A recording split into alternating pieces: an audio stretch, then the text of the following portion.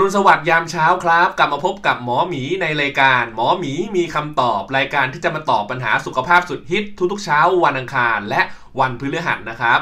วันนี้ครับหมอหมีจะมาพูดถึง 5 สิ่งที่ทำให้คุณปัสสาวะบ่อยนะครับอ่าเป็นเรื่องที่น่าสนใจเลยทีเดียวครับ เป็นคำถามที่พบบ่อยมากๆเลยทีเดียวนะครับ หลายคนก็มาคอมเมนต์หมอหมีนะครับว่าดิฉันปัสสาวะตอนกลางวันบ่อยมากเลย บางคนก็โอ้โหผมปัสสาวะตอนกลางคืนบ่อยมากเลยนะครับทำยังไงดีนะครับ ดังนั้นวันนี้หมอหมีจะมาแนะนำครับว่ามีอยู่ 5 สิ่งด้วยกันที่ทำให้คุณเนี่ยปัสสาวะบ่อยนะครับ เดี๋ยวเรามาฟังกันครับว่า 5 สิ่งนั้นมีอะไรบ้างครับ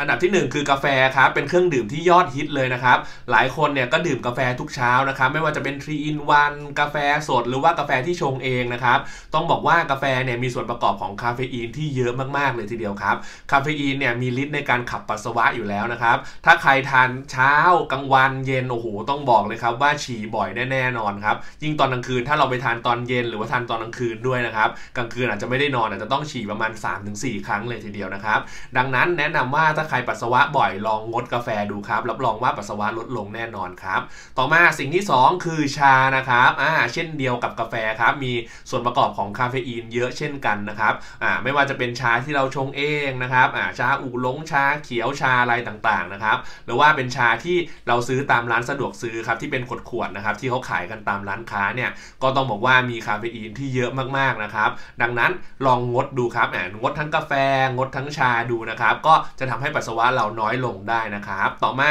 สิ่งที่3ครับคือน้ำอัดลมนะครับอ่าหลายคนนี่แบบโอ้โหเวลา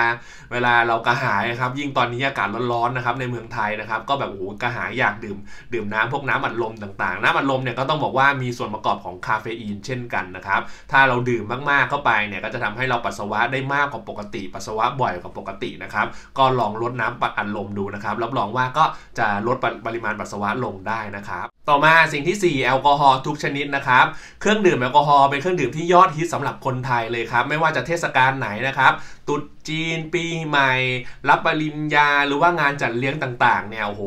ดื่มกันทุกเทศกาลเลยนะครับไม่ว่าจะเป็นไวน์เหล้าสีเหล้าขาวหรือว่าเบียร์นะครับอ่าพวกนี้แอลกอฮอล์ทุกชนิดนะครับมีฤทธิ์ขับปัสสาวะนะครับ ดังนั้นใครที่ดื่มแอลกอฮอล์เยอะๆเนี่ยรับรองเลยครับว่าโอ้โหปัสสาวะบ่อยมากๆเลย ดังนั้นลองลดแอลกอฮอล์ลงนะครับ นอกจากจะทำให้เราปัสสาวะน้อยลงแล้ว ยังทำให้ความดันเราดีขึ้น ไขมันเราดีขึ้น แล้วก็ดีต่อตับของเราด้วยนะครับ ต่อมาสิ่งที่ 5 คือยาความดันบางชนิดนะครับ ยาความดันบางชนิดมีฤทธิ์ขับปัสสาวะนะครับทำให้เราปัสสาวะออกมาบ่อยนะครับ ดังนั้นลองคุยกับคุณหมอเจ้าของไข้ดูนะครับ ว่ายาความดันที่เราทานอยู่เนี่ยมีฤทธิ์ขับปัสสาวะหรือเปล่า หรือว่าสามารถเปลี่ยนยาได้หรือเปล่านะครับ ถ้าเปลี่ยนได้ก็ลองคุยกับคุณหมอเขาดูว่าโอ้โหดิฉันปัสสาวะบ่อยมากเลยเนี่ยลองเปลี่ยนยาเป็นยาความดันตัวอื่นได้หรือเปล่านะครับอ่าทั้งหมดนี้คือ 5 สิ่งนะครับที่จะทำให้เราปัสสาวะบ่อยนะครับเดี๋ยวหมอหมีจะสรุปให้ฟังอีก ครั้งหนึ่งนะครับว่า 5 อย่างเนี่ยมีอะไรบ้าง อันที่ 1 กาแฟ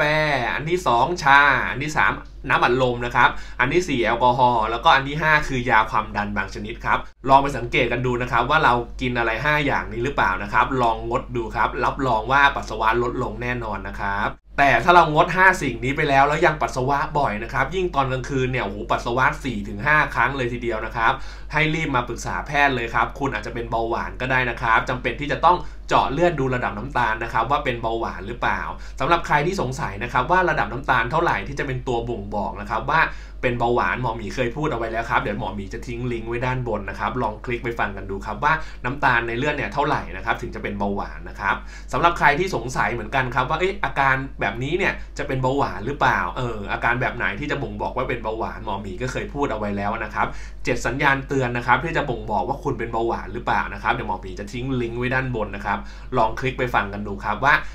เจ็ดสัญญาณนั้นมีอะไรบ้างจะได้ลองมาสังเกตอาการตนเองนะครับว่ามีอาการเหล่านี้หรือเปล่าจะได้รีบไปพบแพทย์นะครับ ถ้าใครถูกใจคลิปนี้ครับ อย่าลืมกดไลค์กดแชร์ กด Subscribe แล้วก็กดกระดิ่งติดตามช่องหมอหมีเมาส์มอยด้วยนะครับ แล้วเรามาเจอกันทุกๆเช้าวันอังคาร วันพฤหัสแล้วก็เช้าวันเสาร์นะครับ กับช่องหมอหมีเมาส์มอยนะครับ แล้วเรามาเจอกันครับบ๊ายบาย